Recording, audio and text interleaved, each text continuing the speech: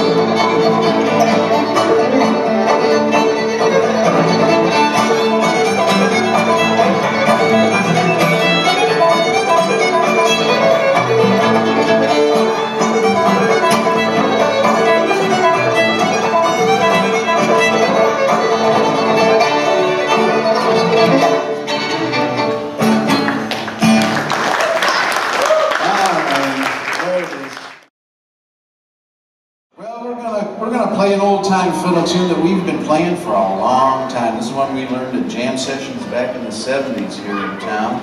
It's called Rock the Cradle Joe. See if we can remember how it goes.